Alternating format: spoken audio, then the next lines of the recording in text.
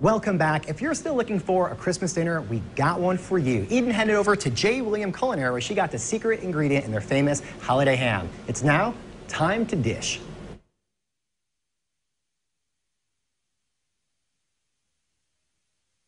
It's time to dish. Sometimes you got to go right to the source. We're in Avondale. It's J. William Culinary. Chef Jay Phelan is with us right now. Hi. Welcome. Thanks for letting us just come barge right on into Absolutely. your kitchen. Thanks for coming. Well, Thanks what's for coming. going on?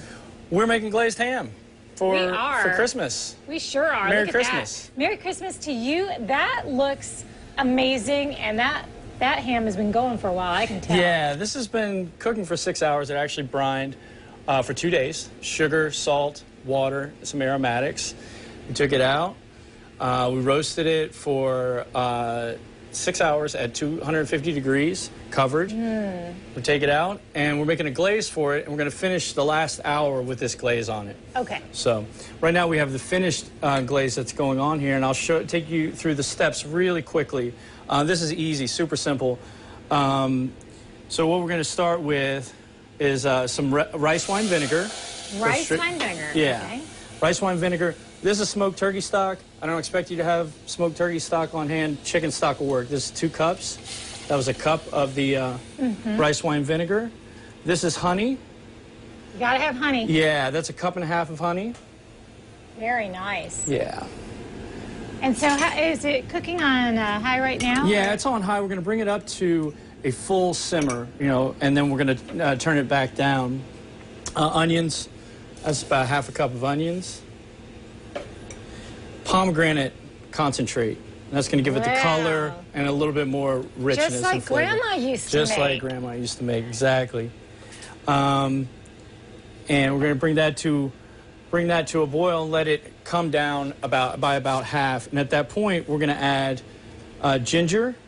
This is lemongrass paste, which I looked around for. Um, I tried to get some fresh uh, lemongrass from one of our purveyors, and they were having difficulty getting it. And I could I could get it, but what I was thinking is that if I have a hard time getting it, You're you're- a- you guys are gonna have a hard time getting it as well. So I got a, a lemongrass paste, which I think works works just fine. May I? I just want to. Uh, Yeah. So, see, already that gives it such a, a different flavor. Right. And it should taste a little bit different because there are other hmm. holidays where you might have ham and year round, but this is, a, you know, a special Christmas ham.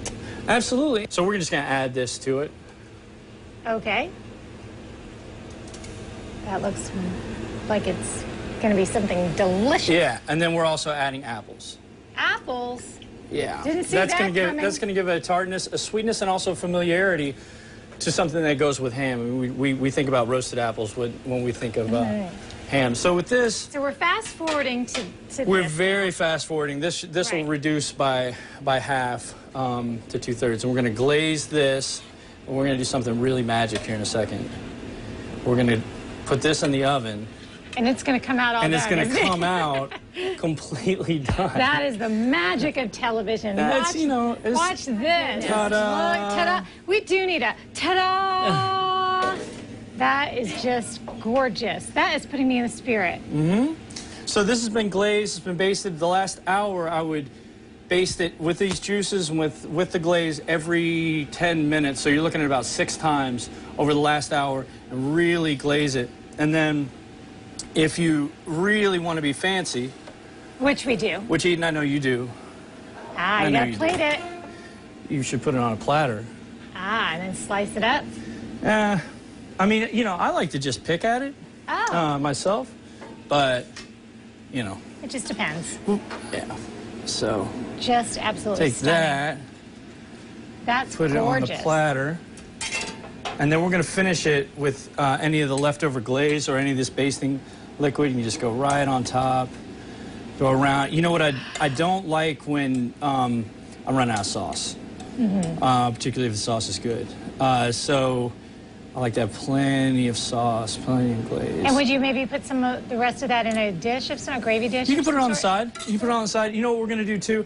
If you notice, there was um, there wasn't any uh, salt in Uh-huh. in any of this. There's salinity in the um, in the brine for for the ham. But what we're going to do is we finish things a lot of times for for catering and whatnot. We finish with um, you know specialty salts. This is a uh, citron salt, so it's gonna, just going to add a um, a citrus element to to and a, like a capricious salinity to to this ham.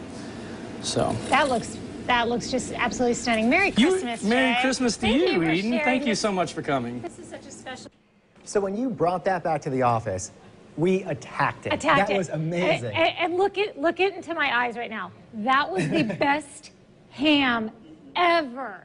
I mean, I've never. I, it, it's like ruined me for ham. It was wonderful. If you'd like to get more information, head to jwilliamculinary.com. He's he. Um, you know, Jay Phelan is a fantastic chef, and that ham was a rock star ham. It was so good. Uh, I, you know, obviously, here it is on Christmas Eve. I hope you've already planned what you're serving tomorrow. But anyway, once again, jwilliamculinary.com. We'll be back.